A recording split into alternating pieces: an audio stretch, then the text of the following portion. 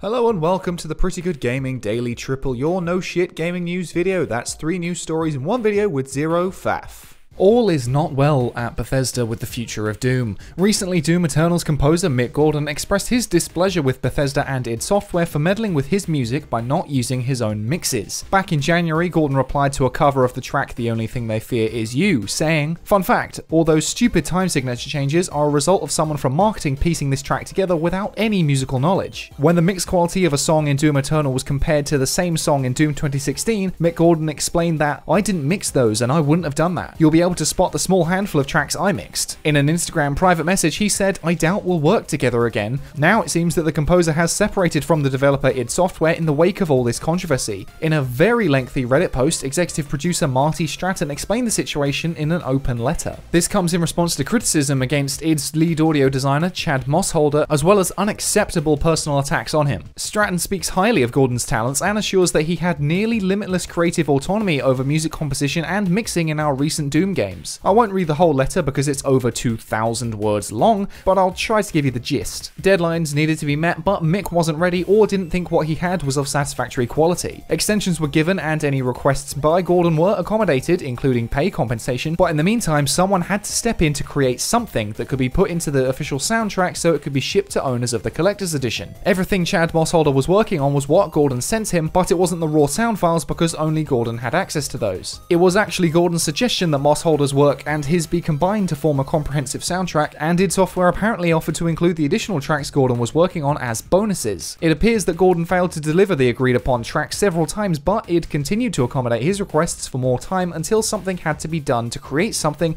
which could be released to comply with consumer laws. They had to release the soundtrack at some point because consumer laws in some countries mandate a specific time for refunds to be allowed. Some of what Gordon did submit was also inadequate based on what id was expecting, with many tracks being ambient in nature rather than heavy combat tracks. All of the work that Mossholder actually did seems to have been based on Gordon's own recommendations and advice. Ultimately, as with most situations like this, it just seems to be a communication breakdown where people just aren't talking to each other properly and not really anything to do with the publisher Bethesda as I suggested in my last video, so I guess I was wrong about that. You are wrong, Leonidas!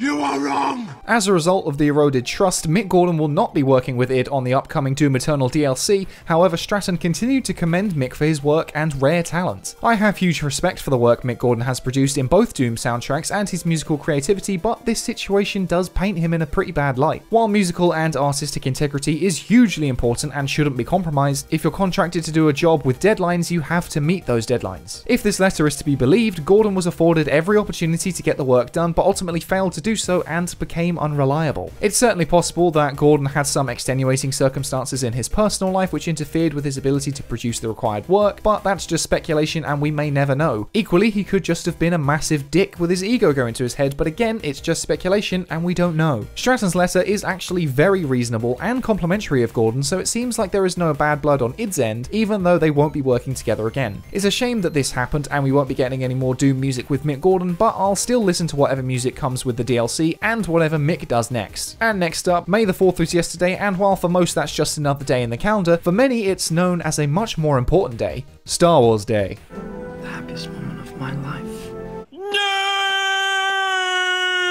This is often accompanied by celebrations or deals on various Star Wars products, but one that's definitely worth mentioning is Jedi Fallen Order. The third person action adventure game is a decent, if flawed, experience, but it's still the best Star Wars game in years, even if that's not really saying much. One thing the game has been lacking is the inclusion of additional modes to expand the game's solid parry based combat. To celebrate Star Wars Day, developer Respawn has created a free update for all players on all platforms, which does exactly that by adding combat challenges in addition to several other improvements. This is exactly what the game needs needed, as once the story is finished, there's little left to do beyond some collectible cleanup or replaying on harder difficulties. The game's heavy Souls-like combat is one of the game's strongest assets, so adding a mode solely focused on that is an excellent move by EA and Respawn. The combat challenges appear to be wave-based encounters in different environments as you face off against various enemies. Challenges also appear to offer different medals for completing specific bonus tasks, such as taking no damage or not healing. You will also be able to craft your own challenges in the battle grid. The grid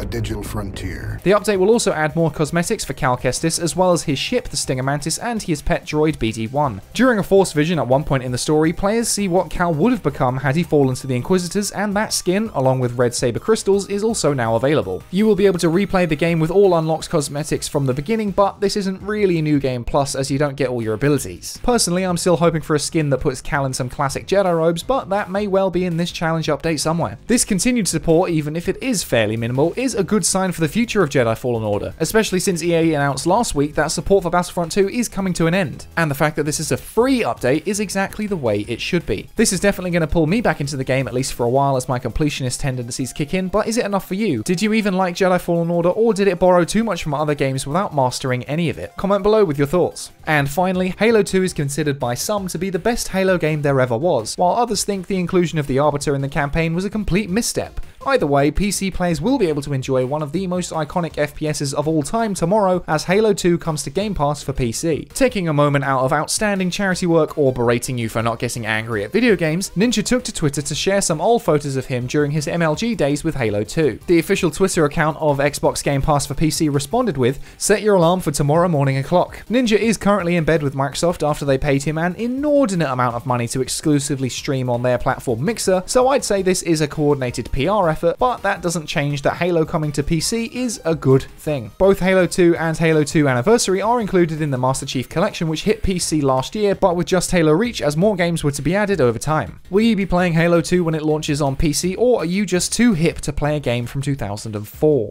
How do you do, fellow kids? What? And that's it for today. If you enjoyed this no shit format, go ahead and give the video a like to give it a boost. Hit subscribe and the bell if you want to stay up to date on all future installments.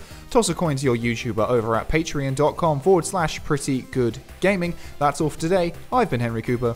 Bye for now.